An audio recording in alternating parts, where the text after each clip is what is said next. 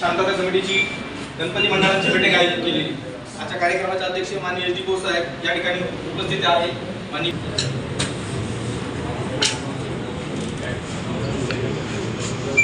दोन हजार चोवीसचा गणेशोत्सव आणि आपल्या सगळ्या गणेश मंडळांना बोलवलं साहेब पहिल्यांदा तुम्ही डीजेवाले आणि स्टेजवाले बोलवले त्यासाठी तुमचं मनापासून आभार. आणि दुसऱ्यांदा मिटिंग लावली त्यासाठी पण तुमचे आभार.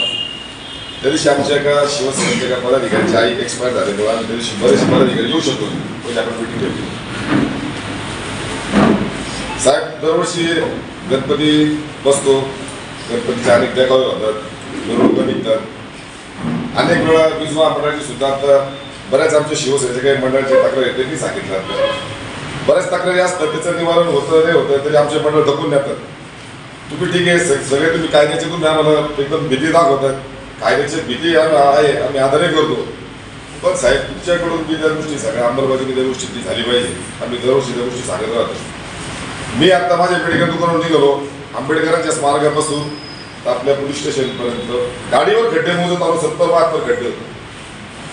त्यात खडी टाकलेली होती ती खडी सगळी बाहेर आली होती खड्ड्यांच्या ती गोष्ट. वीज महामंडळाचा विषय असा आहे. आत्ताच बऱ्याच जणांनी सांगितलं. माझं सुद्धा गेल्या आठ वर्षापासून. नाही पाच वर्षापासून जवळजवळ. आठ वर्षापासून मी गणपती बसवतो. पाच वर्षापासून तर डिपॉझिट होतो तर डिपॉझिट आमचं कधी आजपर्यंत परत मिळेल नाही. साहेब हे लोकसहभागातून लोकवर्गणीतून आमचे कार्यकर्ते कामाधंद्यातून वेळ काढून नोकरीमधून वेळ काढून पूर्ण वर्गणी करतात. आणि त्यातून आम्ही तुम्हाला डिपॉझिट करतो ते डिपॉझिट आम्हाला परत मिळालं पाहिजे. जर मी परत घेऊ शकाल नसेल तर ते कमी ते आता घेऊ नका आमच्याकडून. तेवढे पैसे आमच्या वसाकडे चालू पडतो तुम्ही दोन चार वर्ष. तेवढी किंवा कृपा करा आमच्यावर. आता तुम्ही त्यांच्याशी त्यांचे तोंडी लागत होते. उद्या तुमचे दोन तीन अधिकारी बरोबर त्या ठिकाणी जा तुमच्या बघायचं काय प्रॉब्लेम त्यांचा पटण्याचा शेड असतो. त्याचे चांगले मोठे मोठे कार्यक्रम असतात. सामाजिक कार्यक्रम असतात. चांगलं प्रबोधन असते. चालू संतांचे कार्यक्रम ते घेतात. त्या ठिकाणी तुम्ही वेळ काढा जा. सोल्युशन करा त्या ठिकाणी. दुसरी गोष्ट अशी मागच्या वेळेस मी वाट नाही साहेब तुम्ही अध्यक्ष होते मागच्या वेळेस मी बजावून सांगितलं त्यावेळेस मी भेटले त्या दिवशी नगरपालिकेला सांगितलं होतं आपण नगरपालिकेची दखल घ्यावी एक दिवस आधी आम्ही मिळून काढतो का तर आमच्या ढोल पथकामध्ये चाळीस ते पन्नास महिना ढोल वाजवतात असे वाजवतात मे- महिनाभर आम्ही मेहनत घेतो साहेब याची दखल नगरपालिकेने घ्यावी पोलीस स्टेशनने घ्यावी आम्हाला तुमच्या बक्षिसाची अपेक्षा बिलकुल नाही आहे पण नगरपालिकेने आम्हाला सांगितलं तुम्ही एक दिवस आधी विसर्जन करता सगळी सोय तुझ्या हॅलोजिनची असेल आमची माणसं असतील तिथं आम्ही नदीवर लाख किलोवर गेलो गणपती विसर्जनासाठी. आमची सहा फुटाची मूर्ती होती. साहेब त्या ठिकाणी नगरपालिकेने ना तिथे हॅलोजन लावलेत. ना तिथं पोलीस कर्मचारी होता. तिथं कोणी नव्हते. शेवट एक. ऐका, नाही, सांगतो सांगतो सांगतो ना. साहेब भेटले? स्टेशन कशी भेटली. एक दिवस आधी. मी सांगतो माझ्या गणपती आरणे साहेब तुम्हाला सांगतो. आरोग्य विभागाचा विसर्जन होता म्हणून आरोग्याचे कर्मचारी आणता आले होते. त्यांचा मी सहकार्य घेतलं आमचा गणपती विसर्जन केलं. ते विसर्जनासाठी आले तुमचे गणपती विसर्जनासाठी. माझ्याकडे मागचे व्हिडिओ आहेत आम्ही ते व्हिडिओ बाईट सुद्धा घेतल्यात आम्ही. मी सगळीकडे कॅमेरा फिरवला मी कोणाला दोष देत नाही पण त्याची काळजी घ्यायची सूचना देतोय मी. आणि जो आपला लहान पूल आहे ना लहान पूलमध्ये प्रत्येक एक दहा दहा फुटानंतर असा पॅसेज आहे खड्डा घेत बघा तुम्ही उभं राहता काय होतं? माणूस आनंदात असतो लहान मुलं आनंदात असतो त्या पॅसेज मधून तो सहज खाली सरकू शकतो. तिथं हा, या बाबू. ते सगळे तिथे ना भयाला होते उजव्या उजव्या साईडला लोक. दोन्ही बाजू उजव्या उजव्या side. दोन्ही बाजू आपण जे ग्रीन धरतो ना असे डिवाइड टाकले बघा तिला असे आणि असे कोणी पॅसेज सोडले त्यांनी. स्लोप झालाय साहेब त्याला असं. शेवट त्याच्यावर आता पावसामुळं. माणूस सहज अख्खा माणूस बी जाऊ शकतो पण लहान मुलं तर सहज जाईल. कारण सुद्धा नाही हातातून सगळ्यांना तो पाण्यात पडला म्हणून. ही काळजी आपल्याला घ्यावं लागेल. आणि माझी खास करून विनंती आहे पोलीस प्रशासनाला. साहेब गणपती बसण्याच्या दिवसापासून तर गणपती विसर्जनापर्यंत जे दारूचे दुकानं आहेत, ते दुकानं तुम्ही किमान साठ्यावर सध्याकडे घरी चालू ठेवा पण ते कपडे आम्हाला बंद पाहिजे कारण काय होतं माहिती का? आता माझं मंडळ मी सांगतो साहेब माझं दोन पत्र की आमची रोज प्रॅक्टिस आधी इतके दारू पिऊन जातात तू आम्हाला त्रास आहे आमच्या मंडळात आमच्याकडे पहिला करतो खूप त्रास आहे आम्हाला गोष्टी आणि विसर्जनाच्या दिवशी सुद्धा खूप त्रास होतो. त्या कव्या असतात त्या कव्याच्या ठिकाणी सुद्धा इतर भागातले तरुण येतात. आता विजू भाऊ आमच्या भागात ते भाजी मंडळी चौकटी आपण बांधले. आजही आम्हाला वर्षभर त्रास त्या गोष्टीचा साहेब. तुमच्या आधी मानवकर. साहेब होते तुमच्या आधी बरेचसे अधिकारी येऊन गेले बऱ्याच जणांनी कारवाई केल्या आता मारतात चांगल्या घरचे पोरं राहतात नगरीतले राहतात. तितके पाणी करतात. ते खूप पण झाला मागे काय भोसले नाव घेऊन असं. असं फक्त पायाच्या धक्क्यावरून झाला त्याचा गुण झाला. भर बाजारात त्याला चांगले ठेचून मारलं साहेब त्याला शिकलो ते परत कोर्टातून सुटले पण तिथे परत घालायचं ते चालू झालं गावामध्ये. त्याच्यासाठी आम्हाला दारूचे दुकानं वाईस असतील किमान दहा दिवस कंप्लीट बंद पाहिजे. ही आमची महत्वाची सूचना आहे. त्याच्या पलीकडे साहेब तुम्ही आता जे डीजे वाले आहेत, त्यांना तुम्ही सांगितलं तुम्ही तुमचा कायद्याचा बडगा दाखवला. मी पण डीजे वाल्यांना विनंती करतो आपलं डिसिबल सांभाळून. आमच्या कुठल्याही उपक्रम करायच्या व्यावसायिकाच्या पटावर पाय नाही बसला पाहिजे तुम्ही पण थोडंसं कार्य करा. पण तुम्ही पण कायद्याचं तुम्ही उल्लंघन करू नका. तुमच्या डिसेबल तुम्ही एकदम कंट्रोलमध्येच वाचवा. हे सगळ्यात महत्वाचं आहे. साहेब मी तुम्ही मिटिंग ठेवली साहेब आपण उशीर आला आणि तुमची वाट बघितली. आमच्या अनेक मंडळाच्या सूचना असतील तेवढं फक्त सूचना आपण सगळ्यांच्या ऐकून घ्यावं. आणि हा उत्सव साजरा करण्यासाठी आपण पोलीस प्रशासनाचं नगरपालिकेचं वीज महामंडळ सहकार्य पाहिजे ते सहकार्य लागेल. आम्ही मंडळाचे सगळे कार्यकर्ते सगळ्या पक्षाचे मंडळ दिले सगळ्या पक्षाचे कार्यकर्ते. शंभर टक्के सहकार्य करणार. पोलीस प्रशासनाचं आम्हाला तेवढं सहकार्य असते. चुकून मी काही गोष्टी बोलल्या असते पण मला स्पष्ट बोलण्याची सवय फाटका सवय ऐकून घ्यावं लागेल दिवसो समितीची मीटिंग आपल्या डी एस पी साहेब यांच्या अध्यक्षतेखाली होईल. आहे त्यात सर्व पोलीस अधिकारी आमचे मित्र विजयराव वाघणे वीज बोर्डाचे अधिकारी नगरपालिकेचे अधिकारी. आपण जी मीटिंग घेतली सर त्याच्यात सगळ्यात महत्त्वाचा विषय मी वयाच्या पंधरा सोळा वर्षाहून गणेशोत्सव साजरे करतो. मी स्वतःच अध्यक्ष आहे नवरात्र गणेशोत्सव सगळे साजरे करतो. माझं भावनेचं तरुण मंडळ आहे. आता आपण जे पर परमिशनसाठी फॉर्म वगैरे भरतो ते मुलं भरून जातात. आणि मोटर साहेब म्हटले आता की सव्वाशे मंडळ आहे इथं सव्वाशे मंडळ नाही दीडशे असतील. मात्र जे सिनियर ज्युनियर आहे याच्यात काय माहिती आहे का? याच्यात जवळपास पंचवीस तीस म- पस्तीस मंडळ असतील महत्त्वाची कामं करणारे किंवा मोठ्या मिरवणुकी काढणारे. पंचवीस तीस मंडळ सोडले तर बाकीचे लहान मंडळ आहे काही जो तो ते आता ते जेऊरच्या मुलांनी सांगितलं का आम्ही तिकडचे तिकडे घेतो काही लोक गांधीनगरमधून तिकडे जे लिखणार ब बऱ्याच ठिकाणी जवळपास करून घेतात. इथं दरवर्षी एकच वाद राहतं. आम्ही शांतता कमिटीची मिटिंगमध्ये पण राहतो. बेकायदेशीर शांत शांतता कमिटी आमची. कायदेशीर तुम्ही शांतता कमिटी आम्ही तर काहीतरी बनवा. मात्र शांतता कमिटी इथं आता राहिलेली ते सगळे वयस्कर लोक झाले काही त्यातून गेले.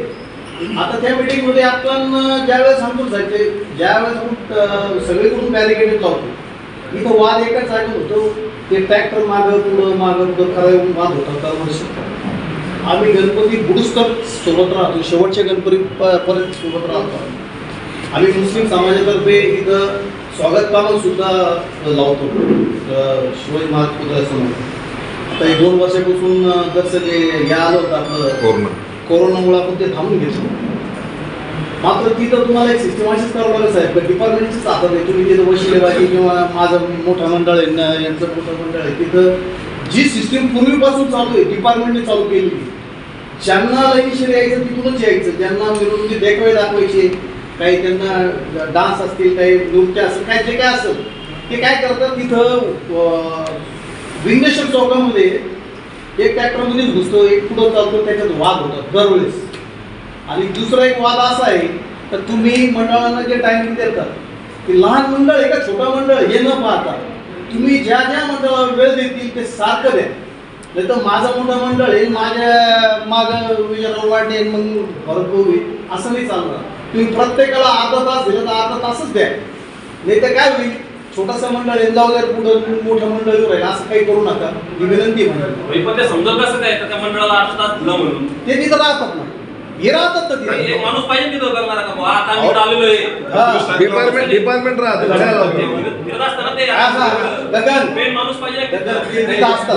काय, नगरपालिकेचे स्टेज असतात. तुम्ही काय करायचं? एक पाच सात वर्षापूर्वी असं घडलं होतं. सुभाषनगरमध्ये एक अं, शेळी अं, जनावरांमध्ये गणेश मूर्ती पडली होती. त्याला तडा पडला होता. त्याच्यामुळे गावात एक दहशत झाली धावपळ झाली होती. विचार बरोबर आहे ना? त्याच्यात म्हणजे काय होतं त्याच्यामध्ये उभं राहतं. तर ते रात्रीचे जे झोपणारे लोक आहे मित्रांनो तुम्ही पण ऐका. तिथं जे झोपणारे लोक आहेत ती जबाबदारी त्यांना एकदम क्लिअर पाहिजे. दोन जण ते थांबायलाच पाहिजे.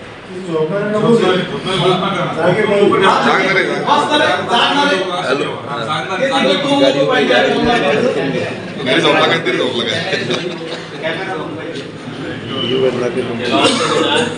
सगळ्यात चांगला ऑप्शन आहे आता SSD भरपूर स्वस्त झालेले आहे तर विनंती आहे का परवानगी सगळ्यांना असं कोणी परवानगी घेत नाही एका दुसरा मुलं सोडत नाही त्यांचा जास्त वडाप नसतो तो जर जास्त वाढ नाही झाली.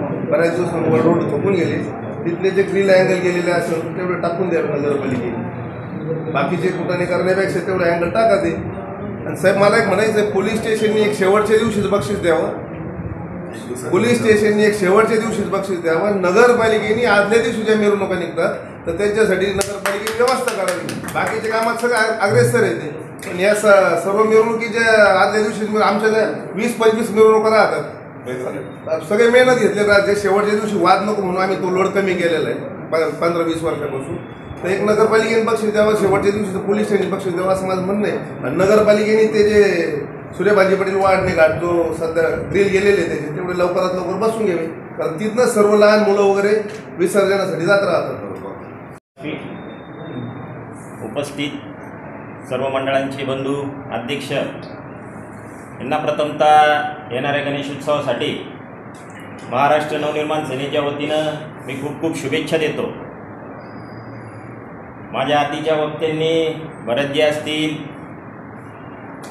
महमूदभाई असतील आणि सुशांतजी असतील यांनी बऱ्याचशा सूचना या ठिकाणी मांडल्या माझी सूचना प्रथमतः नगरपालिकेचे सी ओ इथं उपस्थित नाही आहेत आर्ने साहेबांना असेल की आर्ने साहेब खूप मोठा उत्सव आपण महाराष्ट्रात आता दहा दिवसात होणार आहे. ह्या दहा दिवसात आपण जे मोकाट जनावर आहे याचा बंदोबस्त पहिल्यांदा करावा. कारण ह्या मोकाट जनावरामुळं कालच माझ्या दुकानपाशी ज्यावेळेस पाऊस चालू होता तर पंचवीस ते तीस जनावर म्हणजे गाई एका ठिकाणी जमल्यात. आणि अचानक काय झालं ते इतक्या उधळल्यात. का अजूनही काही आमच्या दुकानचे जर सी सी टी व्ही कॅमेरे बघितले त्या बेभान होऊन पळत होत्या आणि एक गाय तर एका फोर व्हीलरवर तर म्हणजे आदळली. त्या फोर व्हीलरचं बरंचसं नुकसान पोहेगाव नागरीपाशी झालेलं आहे. तर किमान आम्ही बरेचसे आंदोलनाचे इशारे आपणाला दिले सगळं काही दिलं. पण आपण नगरपालिका कुठं सुधरत नाही. किमान त्यावेळेस मी तुम्हाला सांगितलं की एका बाईचा हात मोडला की ज्यावेळेस ते गाडीवर गाय आढळली दोघं नवरा बायको होते त्याच्यात त्या बाईचा हात मोडला. ते काय होतं? आपल्या चुकीमुळं हे लोकांना भोगायची पाळी येते. तर किमान नगरपालिकेने डोळ्यात तेल घालून ज्यांची जनावरं आहेत त्यांना म्हणा एक तर तुमच्या तिथं दारात बांधा. नाही तर मला वाटतं आपला कोंडवाडा बी मागच्या सेवननी असो तो विषय आपला राजकारणाचा आहे. तर किमान त्या कोंडवाड्याची तात्पुरती व्यवस्था करून ते जर जनावरांचे मालक ऐकत नसतील तर दहा दिवस त्यांना कोंडवाड्यात ठेवावं. नगरपालिका झाल्यानंतर एम सी बी जसं आमच्या बोर्डांनी जे सांगितलं कृपया मंडळ चांगलं आहे खूप चांगले सामाजिक का कार्यक्रम त्यांचे चालतात.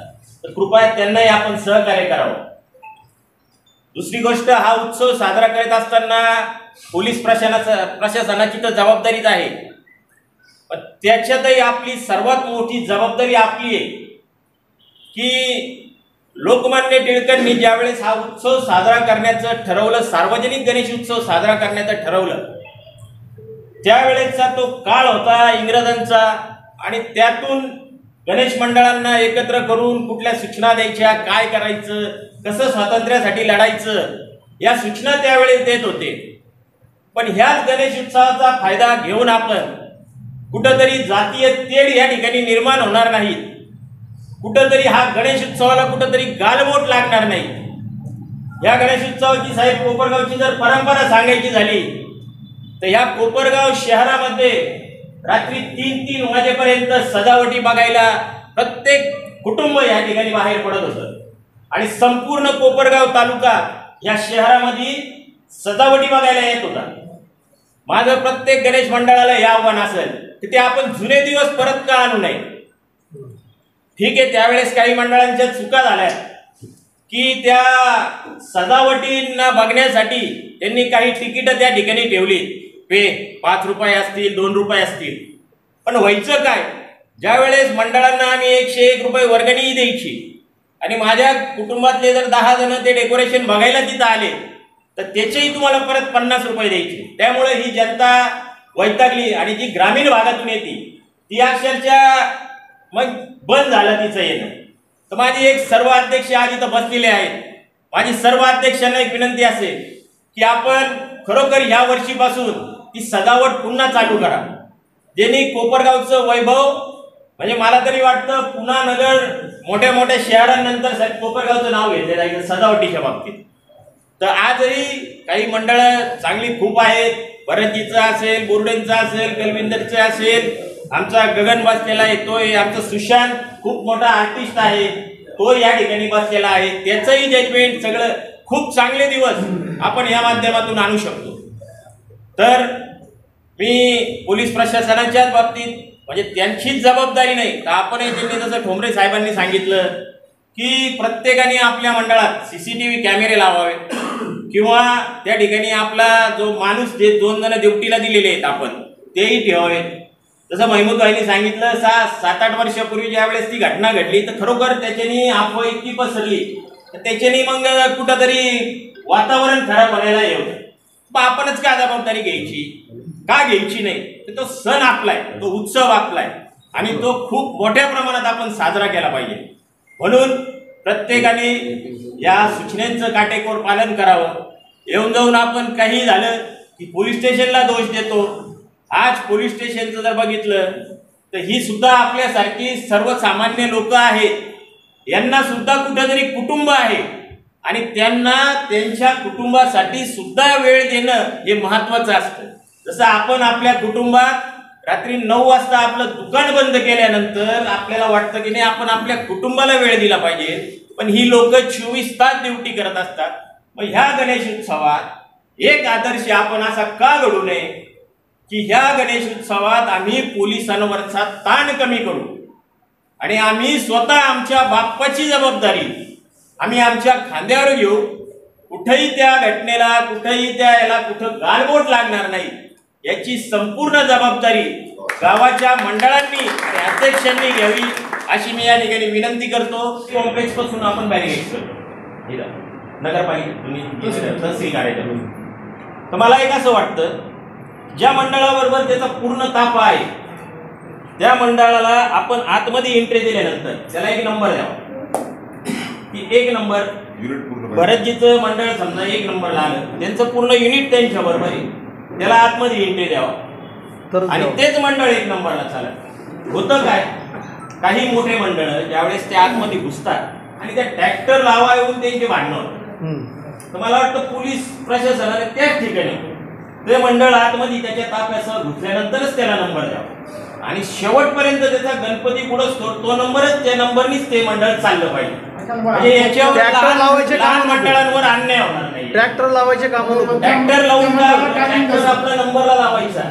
आणि आपला सात वाजता तिथं आणायचा. आणि तो पार्टीपासून तिथं लावलेला असतो. ते जे मंडळ त्यांच्यावर अन्याय. हे सगळे मंडळ साहेब एक एक महिना प्रॅक्टिस करतात. यांच्या मंडळांमध्ये महिलांची संख्या सुद्धा खूप आहे. आज आपले एक ताई सुद्धा इथं बसलेले आहे का मग जर त्यांना नंबर दिले कुणावरही अन्याय होणार नाही? आम्ही बी शेवट दिवशी काढू आमच्याकडे पण तेवढाच काम आहे व्हॅल्यू कमी असतं ना लाइट म्हणजे काहीच नसते किंमत देत नाही लाइट नाही कोणी विचारत नाही तुम्हाला सुविधा तेवढ्या. काय म्हणा तुम्ही डिपार्टमेंट येणार त्याला त्याला मारायला काढून देणार आता अन्याय ना करू. गेले पंचेचाळीस वर्ष. शेवटच्या गणपतीचं विसर्जन होईपर्यंत आम्ही मिरवणुकीमध्ये असतो. मागच्या वर्षी मात्र काही हजर नव्हतो. शिवला सांगा महत्वाची मिटिंग होती. उपमुख्याधिकारी कुठे? आहेत? गांभीर्य आहे की नाही? पुढं मिटिंग घेतली सीओ पाहिजेच आहे. मिटिंगला सीओ पाहिजे. रस्त्याला जे खड्डे होते. रस्त्याला जे खड्डे आहेत ते सिमेंट कॉन्क्रीट म्हणून शिवणं आमचं सगळं सुरू होईल मग मूर्मानीच खूप वाईट खड्डे बुजवले मागचे. मूर्खच कुठं होता पण या ठिकाणी विनायकराव भरत मोरे किंवा अजून पुढे म्हणजे आदल्या दिवशी गेले गणेशोत्सव विसर्जनाची का गरज पडली? इथं आपण जी चर्चा केली शेवटच्या दिवशीच्या विसर्जनाच्या मिरवणुकीची तुम्ही ज्या सूचना केल्या आम्ही जे बोलतो हे शेवटच्या दिवशी काही प्रॅक्टिकल आचरणामध्ये कुणी आणणार नाही. स्पष्टपणे सांगतो. ठराविक मंडळ दादागिरी करतात. प्रशासनावर विठीला जातात प्रशासनही नाईलाजाने म्हणून थोडं द्यावं नाही प्रशासनाला काही घेऊन मागायला घ्यावं नाही शरण शरम वाटली ह्या मंडळाच्या काही अध्यक्षांना. शेवटच्या निवडणुकीमध्ये कुठल्याही मंडळ इतर मंडळाचा विचार न करता माझंच मंडळ मोठं माझा नेता मोठा कोणाचाही विचार न करता स्वतःसाठी मिरवणुकीमध्ये स्त्रीची मूर्ती नसली तरी चालेल पण आम्हाला मिळवलं मिळालं पाहिजे. अशा प्रवृत्तीचे जे कोणी आहेत स्पष्टपणे सांगतो कोणाला राग आला तरी चालेल. जे असे मंडळ आहेत त्यांच्यावर गुन्हे दाखल करा. दुसरी म्हणू नका आम्ही गुन्हे दाखल करू? गुन्हे दाखल करा त्यांना सगळ्या गावाला मिठीला जाता तुम्ही गावामध्ये हजारो महिला निवडणुकी पाहायला हजर असतात. काय बघता? नंगनास ठराविक मंडळांचा जे इथं ठरतं ते आंदोलनामध्ये येत नाही वारंवार संपूर्ण माणूस तुम्हाला चॅलेंज आहे. तुम्ही आंदोलनामध्ये आणून दाखवा. तुम्ही जर त्या अंमलात तर तुमच्या आंबेडकर माझ्यावर मी जाहीर सत्कार करेन. का बोलतो मी आज हा चव्वेचाळीस पंचेचाळीस वर्षाचा अनुभव फक्त एकच स्वागताचा कक्ष एकच ठेवा. जर आमच्याकडे गडबजी आमच्याकडे राजकारण याचा स्टेजवर आहे मला द्या. त्याला द्या.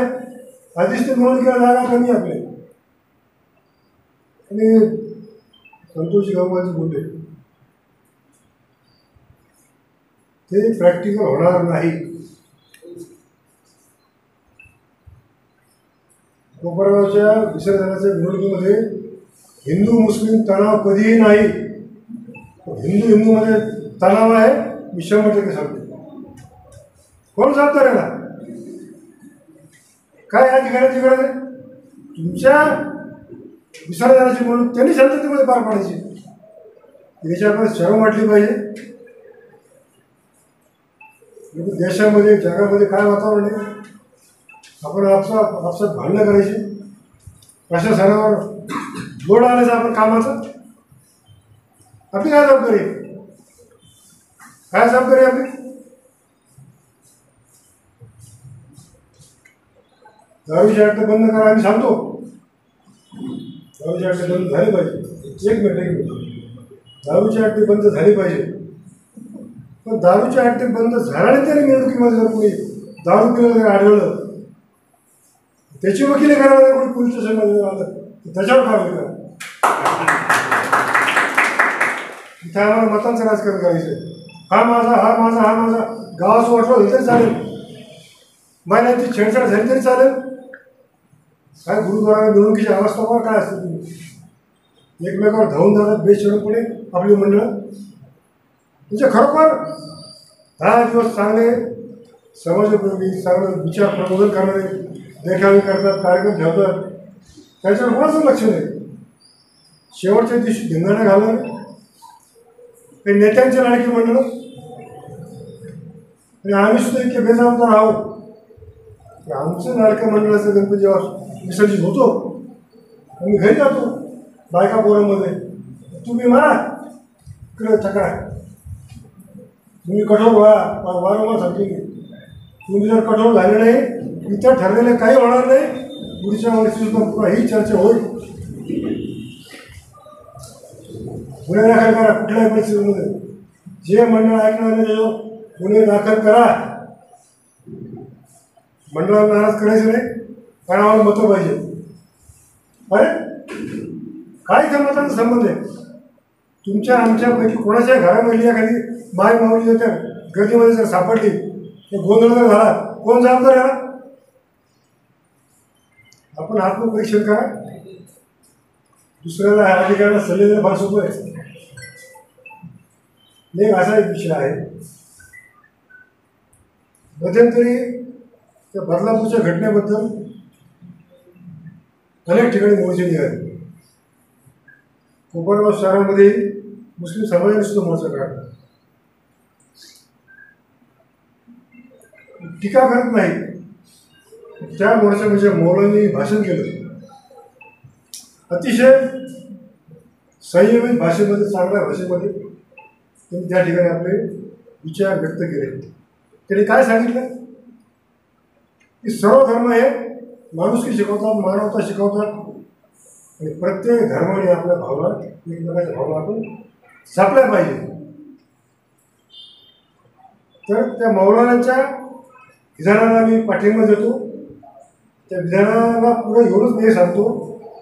की आपल्याला जर एकमेकाच्या भावना जर जपायच्या असतील सामाजिक सुरक्षा ठेवायचं जर असेल तर कोपरगाव शहरामधली गोहत्या शंभर टक्के बंद झाली पाहिजे.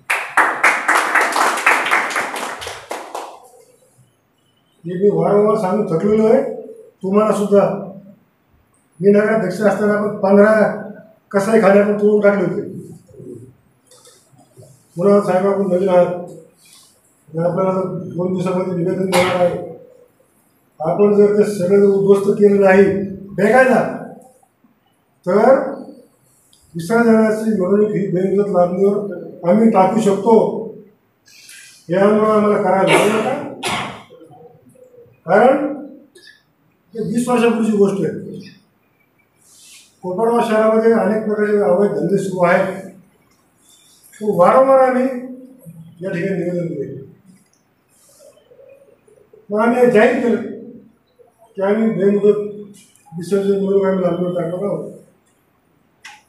त्यावेळेस एस पी आले कोण त्यावेळेस होते? त्यावेळेस पी आय सुद्धा आमचं ऐकायला तयार नाही. तर त्या नेत्यांचा आशीर्वाद शेवटी आम्ही असं आंदोलन जाहीर केलं. नगरचे अधिकारी आले. तर तुम्हाला खोटं वाटेल. या गोष्टीवर आमचं समझोता झाला. दोन नंबर धंदे बंद करायचेच. विसर्जनाचा मिळून विसर्जनाचे मिळून शेवटच्या गणपती पुढेपर्यंत कोपरवाच्या पी आयने त्यावेळेस पी एस आय होते. त्यावेळेसच्या पी एस आयने गणेश विसर्जनाच्या निवडणुकीमध्ये पाऊलही ठेवायचं नाही. कठोर भूमिका आम्हाला घ्यावं लागेल. आमच्या ही पाळी आली तुम्ही. गणेश विसर्जन नामदेव टाकायचं आंदोलन करायचं. तर आम्ही जे सांगतो ते वेळेवर जर केलं असतं आणि वरिष्ठांनी मान्य केलं एस पी साहेबांनी मान्य केलं त्यावेळेस पी एस आयने सांगितलं की तुम्ही फक्त पोलीस स्टेशनला बसून राहा. हे तुला आहे. तर हे आपण एकमेकांच्या सहकार्याने आपल्याला गोष्टी करायच्या आहेत. प्रशासनाचे प्रचंड अडचणी आहेत. प्रशासनावर प्रचंड दबाव असतो. माझ्या कार्यकर्त्याला अटक केली की मी फोन करतो. साहेब थोडं बघा. मला माहिती आहे ना कोण फोन करतो काय करतो. आपले वादग्रस्त विषय घ्यायचे नाही. पण हे आपलं शहर आहे आपलं शहर शहर म्हणजे आपला परिवार आहे. मग इथून पुढच्या काळामध्ये येणारा गणेशोत्सव शिस्तीमध्ये जर करायचं असेल तर आपण सगळ्यांना शिस्त पाळू मान्य आहे तुम्हाला? शिस्त आहे का? जे बेशिस्त असतील त्यांच्यावर मात्र कठोर कारवाई करा. कुणाचाही म्हणून असो त्याच्यावर कारवाई झाली पाहिजे. जर कारवाई केली नाही मग जर त्याची भाषा आम्हाला करावं लागेल. आपण कठोर व्हा. आपण चांगल्या कामासाठी जर कठोर जर झाला तर आमचं संपूर्ण शहर तुमच्या पाठीमुळे ठामपणे उभं आहे. धन्यवाद. आपली ॲक्च्युली दोन दिवसापूर्वी गणेश मंडळांची मिटिंग झाली. त्या मिटिंगला आपण चर्चा केली होती. तिथं थोडक्यात आढावा घेतो. साहेबांच्या ते लक्षात यावं किंवा त्यांना माहीत असं साहेब आम्ही गणेश मंडळांची फक्त मिटिंग घेतली. त्या मिटिंगमध्ये आमची चर्चा झाली. त्यावेळेला ही चर्चा झाली. स्टेज कसं उभारावं आणि काय उभारावं? स्टेज उभारताना जर रस्त्यामध्ये स्टेज येणार असेल तर ते स्टेज शक्यतो रस्त्यामध्ये येणार नाही याच्यासाठी प्रयत्न करा. आणि जर नाईलाजाने तुमची जागा ती असेल आणि तुम्हाला रस्त्यामध्ये जर उभं करावंच लागत असेल तर त्या रस्त्याच्या कडेला किमान तीन ते चार फुटाची जागा सोडा जेणेकरून एखादी मोटरसायकल किंवा स्कूटर तरी तिथून पास होईल. एवढी जागा सोडूनच स्टेज बांधला आणि ह्या सूचना त्या दिवशी आम्ही चर्चा केली ती म्हणून आज त्या सूचना देण्यासाठी आज मंडप उभारणी करणारे किंवा स्टेज बांधणारे जे आहेत त्यांना आपण तुमच्या येण्याच्या आधीच त्यांना आम्ही त्या सूचना दिलेल्या पण आहेत. की जर एवढ्या सूचना देऊनही एखाद्या परिसरातून नागरिकांनी सांगितलं किंवा आम्हाला पुढे जायला रस्ताच नाही कारण आमच्या स्टेजमुळे त्या गणपतीच्या स्टेजमुळे आमचा रस्ता अडवला गेला आम्हाला फार अर्धा किलोमीटर एक किलोमीटरवरून वळून जावं लागतं. पण मात्र मग त्या गणेशोत्सवानंतर स्टेज बांधणारा आणि संबंधित गणेशोत्सवाचे पदाधिकारी यांच्यावरती कारवाई केली जाईल. आता वाढणे साहेबांनी सांगितलं मी सुरुवातच करताना आधी सांगतो. की साहेब कठोर आहोत कठोर आहेच कारवाई करणार याची शाश्वती देतो फक्त एकच गोष्ट आहे कारवाई करायला घेतल्यानंतर माझा फोन जर स्विच ऑफ असला किंवा फोन जर घेतला नाही मग म्हणू नका तेव्हा साहेबांनी फोन केला होता पण तुम्ही फोन घेतला सगळ्यांना सूचना जर कारवाई करायची नसेल तर नियम पाळा उत्सवाचा आनंद घ्या. आनंदात आम्हालाही सामील करून घ्या जेणेकरून आम्ही त्या आनंदावरून तुमचा आनंद घेतो. मी मागच्या वेळेस बोललो परवाच्या मीटिंगमध्ये आमच्या घरचे गणपती तुमच्यासोबतच होतं. आमच्या घरच्या गणपतीला आम्हाला जायला वेळ नसतो. आमची आरती कोण करतं घरातले पोरं सोडत कधी करतात किती वाजता करतात तेही माहिती नसतं. त्यांचा एखादा फोन येतो पप्पा तुम्ही आरतीला येऊ शकता का? नाही रे बाळा मी आज दुसरीकडे.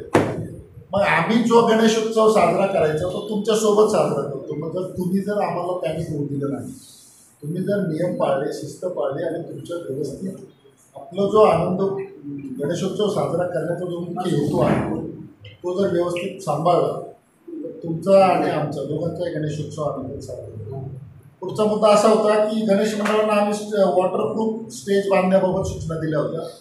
आणि मंडळाने स्टेज बांधताना त्या स्टेजची उंची किमान पाच फूट किंवा त्यापेक्षा जास्त ठेवावी. त्याच्यापेक्षा कमी उंची ठेवू नका. आणि डेप्थ पण त्या स्टेजला भरपूर ठेवा. मूर्ती ही शक्यतो जास्तीत जास्त मागे राहील.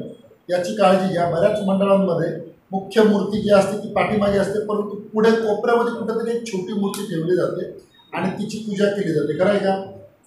आरती करायला उभं राहायला वेळ मिळावा म्हणून. माझी त्याच्यावरती सूचना आहे हरकत आहे. ती सुद्धा मूर्ती थोडी मागे ठेवा तीन चार कारण आता बघा जो यांनी मुद्दा मांडला काल आमची परवा त्याच्यावरती पण चर्चा झाली. गावामध्ये प्रचंड प्रमाणात मुक्काट जनावर आहे माझ्याकडे तर फोटो पण आहेत आणि मी ते फोटो आता नगरपालिकेला आगामी पत्र देणार होतो पण आज काही कारण सोडायला असेल तर त्याच्यामुळे मोकाट जनावरं येतात. त्या जनावरात तिथं जनावराचा उद्देश नसतो मूर्तीची विटंबना करण्याचा. तिथं त्याला खायला भेटतं. तुमच्या दुर्वा असतील तुमचे हार फूल असतील तुमचे नैवेद्य असतील ते खाण्यासाठी म्हणून त्या मुका प्राणी तिथं तोंड घालायला जाईल आणि त्याचा धक्का लागून मूर्ती तुटते फुटते आणि नंतर जर ती मूर्ती कोणी तोडली हे निष्पन्न नाही झालं तर मग कुणीतरी दुसऱ्या धर्माच्या लोकांनी येऊन तोडली असेल. असं म्हणायचं गावात तणाव निर्माण करायचं. असं होतं तरी ते होऊ नये म्हणून आधी आपण त्याच्यासाठी पहिली सूचना आहे की मूर्त्या शक्यतो मागे ठेवा. जनावरांचे तोंड तोडणार नाही किंवा ते पोहोचणार नाही तिथपर्यंत. त्याच्या पुढचा मुद्दा आमचा असा होता की त्या ठिकाणी तुमचे स्वयंसेवक किमान दोन स्वयंसेवक रात्रीचे असावे. दिवसभर तुम्ही असाल असतो काही विशेष नाही.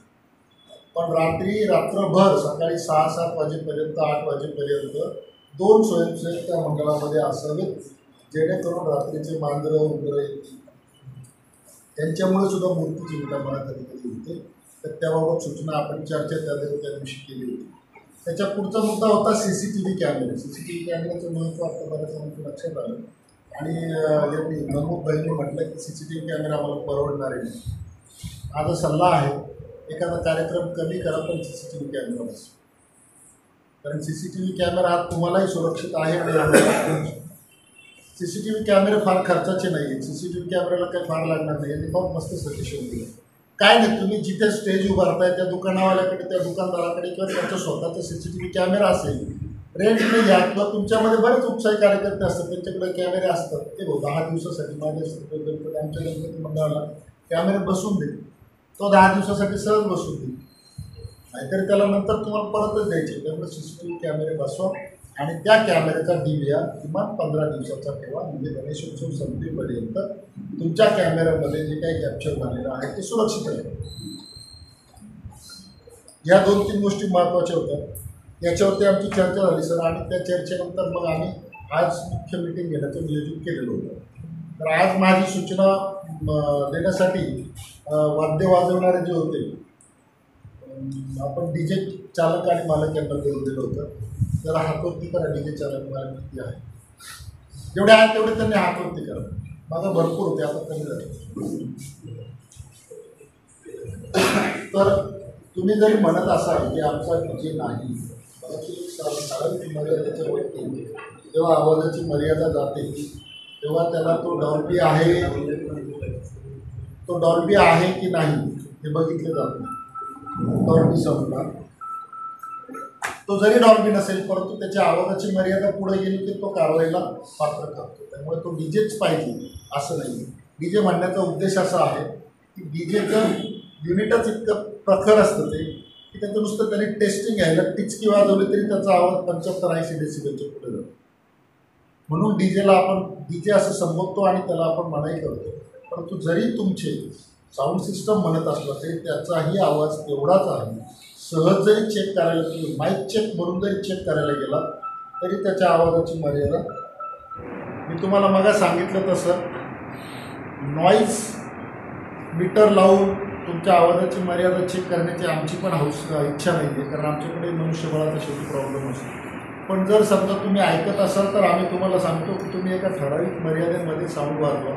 ठराविक मर्यादेमध्ये आवाज ठेवा आणि तुमचा आनंद घ्या. परंतु जर तुमच्यामुळे कोणाला त्रास होतोय असं म्हणणारे आमच्याकडे आले किंवा आम्हाला वाटलं की हा आवाज जरा मर्यादेच्या बाहेर चालला तर आम्ही तुम्हाला ज्यावेळेला सूचना देऊ त्यावेळेला तुम्ही थांबले पाहिजे किंवा आवाज कमी केला पाहिजे.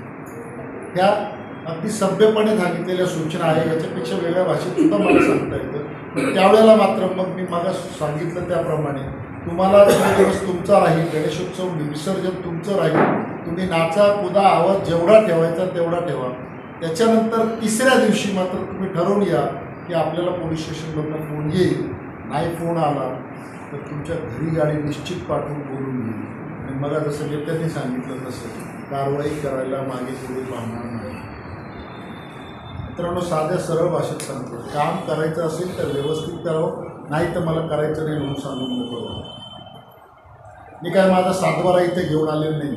त्यामुळे मला इथं दिवस काढायचे म्हणून तुमचे तुमचे मनं सांभाळायचे तुमचं हे करायचं काही गरज नाही मला. माझे गणेशोत्सवानंतर बर्थडे झाले तर मी माझ्या फक्त दोन बॅगा घेऊन येतो तेवढ्यावरच निघून जात. असतो त्यामुळे स्पष्ट भाषेत सांगतो जर नियम पाळायचे असतील तर नियम पाळून उत्सव साजरा करा.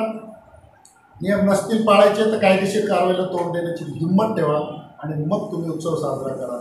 एक दिवस तुमचा असेल बाकीचे तीनशे साठ दिवस पोलिसांचे असतील शांतता कमिटीची जी बैठक आयोजित करण्यात आली होती काय नेमकं सूचना देण्यात आल्या तर काय निर्णय झाला बैठकीत? सार्वजनिक गणेशोत्सव दोन हजार चोवीस याच्या अनुषंगाने आज कोपरगाव शहर पोलीस स्टेशन येथे आपण सर्व गणपती मंडळांचे अध्यक्ष तसेच डी जेवाले आणि मंडप मंडपाचे काम करणारे लोक त्यासोबतच नगरपालिकेचे अधिकारी कर्मचारी आणि एम एस सी बीचे अधिकारी कर्मचारी आणि पो पोलीस स्टेशनचा स्टाफ असे सर्व मिळून आपली गणेशोत्सवाच्या अनुषंगाने मिटिंग घेण्यात आली. याच्यामध्ये गणेशोत्सवाच्या अनुषंगाने सर्व साधक बाधक मुद्द्यावर चर्चा करण्यात आली. त्याच्यामध्ये मंडळांच्या ज्या काही तक्रारी होत्या किंवा माग मागच्या काळातील त्यांचा जो अनुभव होता त्या अनुषंगाने आपण या वर्षी तसे काही अडचणी येणार नाहीत. या प्र याबद्दल तशा प्रकारे नियोजन करण्याचं आपण त्यांना आश्वासित केलेलं आहे. तसेच यावर्षीचा या वर्षीचा जो गणेशोत्सव आहे याच्यामध्ये कोणतीही दुर्घटना घडणार नाही किंवा कोणतेही वादावादीचे प्रसंग उद्भवणार नाही याच्या अनुषंगाने पण सर्वांना सूचना देण्यात आलेल्या आहेत. तसेच सर्व गणेश मंडळांनी सी सी टी व्ही बसवण्याचे आम्ही पोलीस स्टेशनच्या वतीने आवाहन क केलेलं आहे. सी सी टी व्हीमुळे काही दुर्घटना किंवा काही अनुचित प्रकार घडणार नाही. याची त्यांना जाणीव करून देण्यात आली आणि त्यांनी त्याप्रमाणे तशी कारवाई करण्याचे आम्हाला आश्वासन पण दिलेलं आहे. तसेच आपण गणपती उत्सवाच्या अनुषंगाने ज्या काही खबरदारीच्या गोष्टी आहेत ज्याच्यामध्ये स्टेजची उंची जास्त ठेवणं किंवा तिथे रात्रीच्या वेळेस स्वयंसेवक नेऊन किंवा जे उपद्रवी माणसं असतील त्यांच्याबद्दल पोलीस स्टेशनला तात्काळ कळवणं अशा बऱ्याचशा सूचना आपण त्यांना दिलेल्या आहेत. त्या अनुषंगाने आपण आता पुन्हा एकदा ग गणपतीचे स्थापना झाल्यानंतर गणेशाची स्थापना झाल्यानंतर परत एकदा विसर्जनाच्या अनुषंगाने मि मीटिंग घेणार आहोत असं पण आपण त्यांना सांगितलेलं आहे. आणि या सर्व मुद्द्यांच्या अनुषंगाने आपण आता गणेशोत्सवाच्या तयारीला लागलेलो आहे. तसेच एक सांगायची गोष्ट म्हणजे पोलीस स्टेशनच्या वतीने गणप मागील काळातील गणपतीच्या गणेशोत्सवातील ज्यांनी काही वादावादी केलेले किंवा काही अनुचित प्रकार केलेला असेल त्यांच्यावर आपण प्रतिबंधात्मक कार्यवाही देखील करत आहोत. आणि या अनुषंगाने त्यांना लवकरच त्यांच्यावर कार्यवाही केली जाईल.